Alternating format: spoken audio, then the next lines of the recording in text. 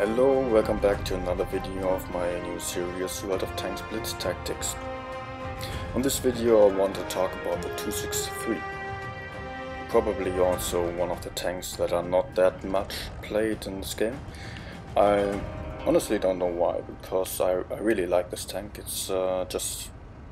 The DPM is great, the gun is pretty accurate, even though not the most accurate, especially as you shoot on the move quite often.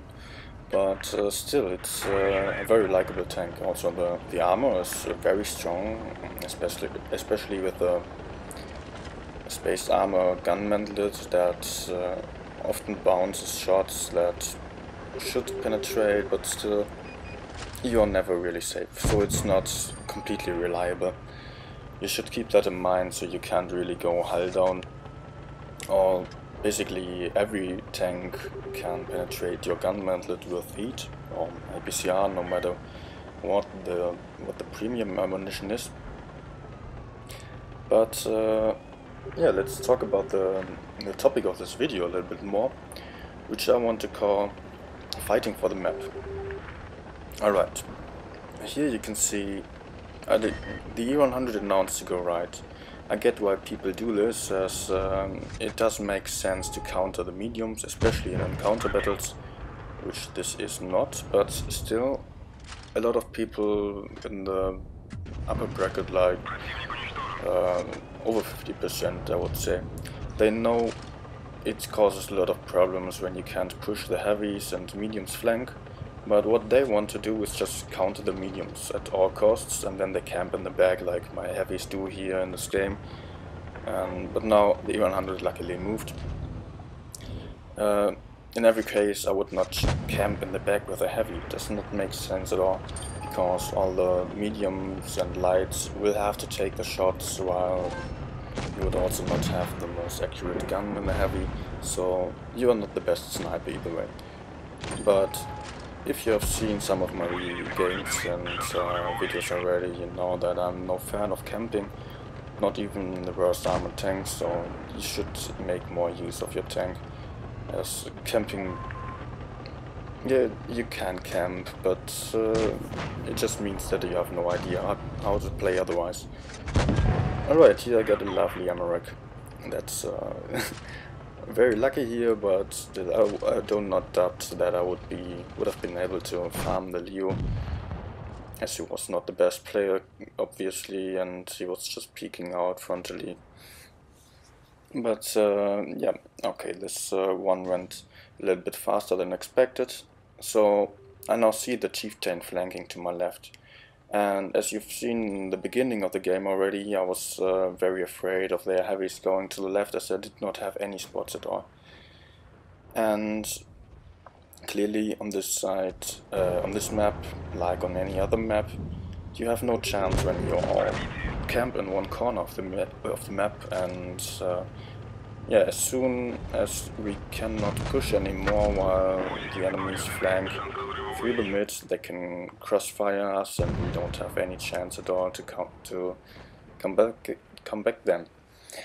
Uh, we would have to uh, go back into our spawn and rotate all the way back, which mostly doesn't work. Okay, what I did here was uh, I noticed that the E1 and uh, and KPZ went to our back, so um, I had to decide.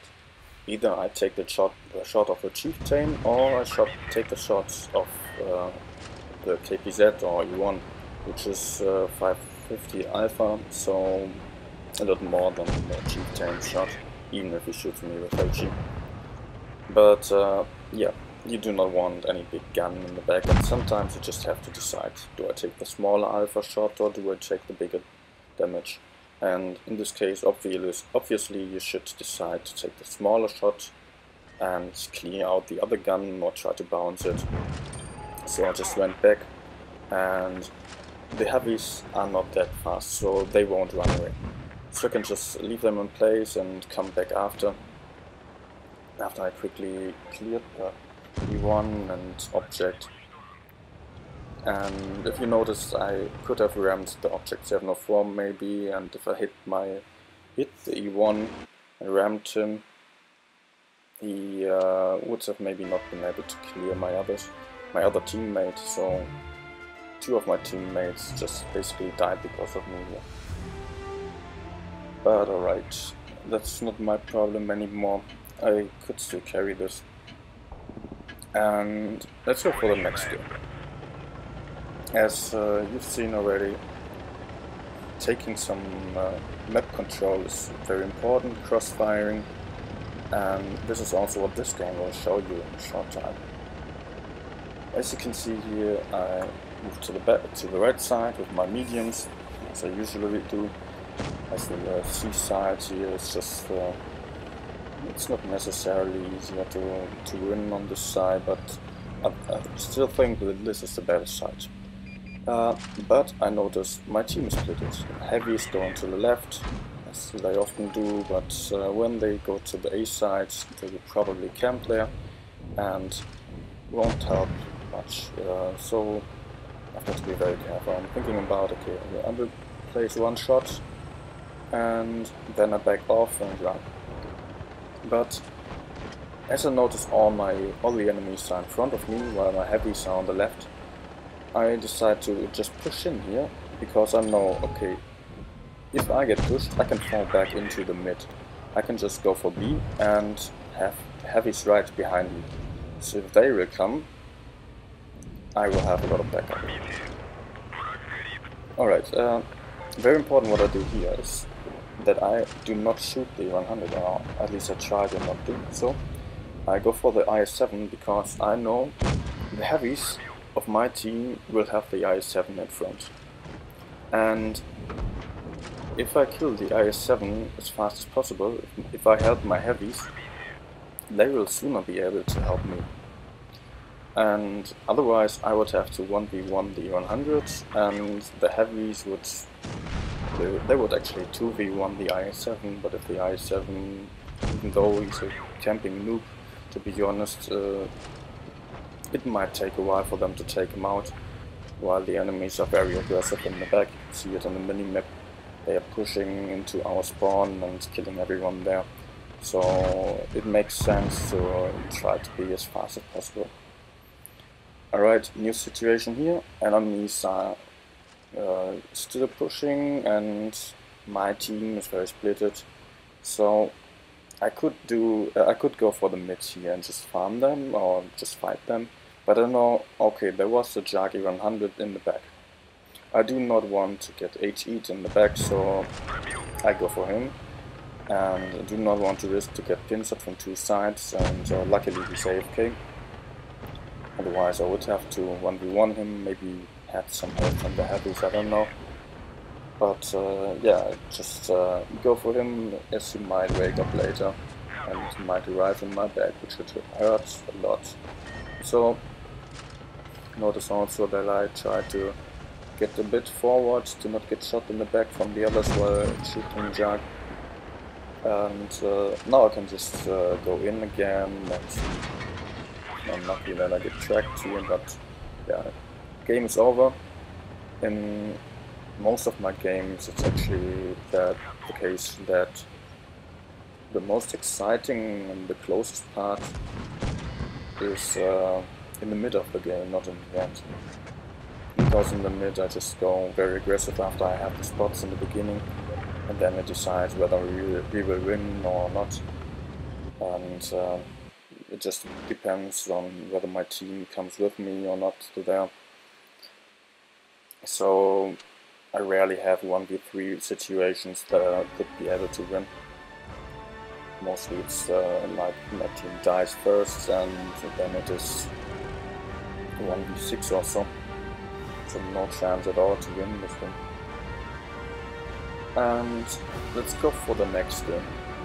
I saved this for the end as I mostly do in my videos. I save the good games for the end.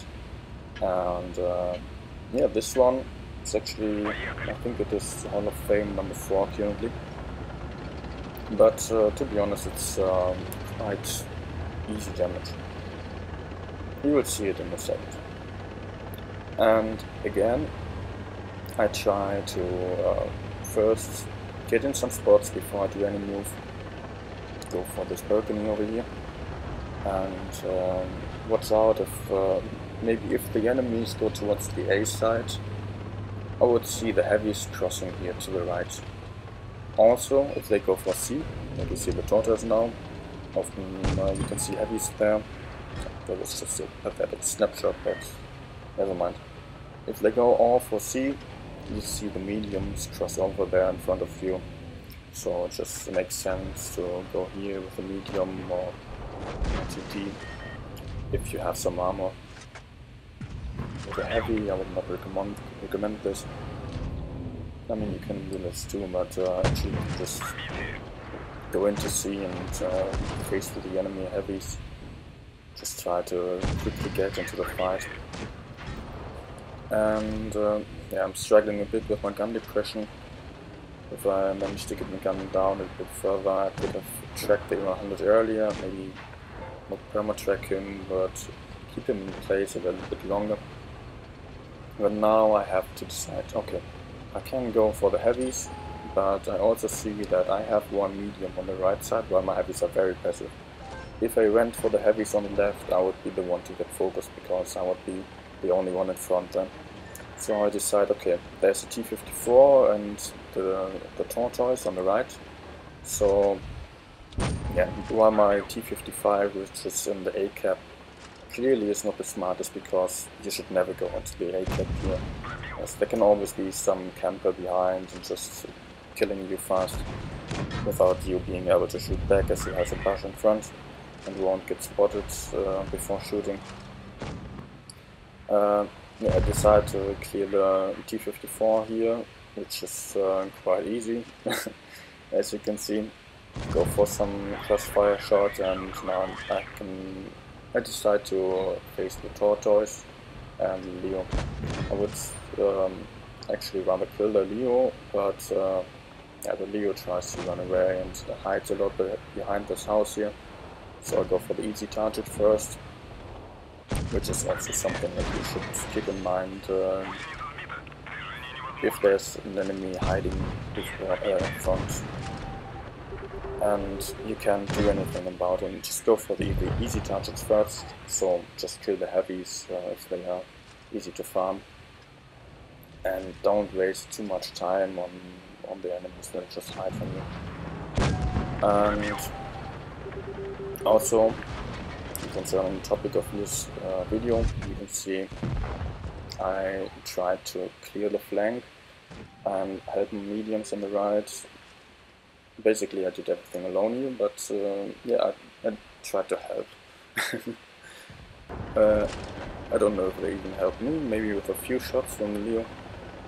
Yes, but uh, okay, I, I, decided to go in here and I could actually just YOLO in, but as I have 750 HP only, they could double tap me and take me out quickly. So I think, okay, I would just uh, rather play it safe and get to their back first. Now I can just go in and farm them, as they can't do much about me here.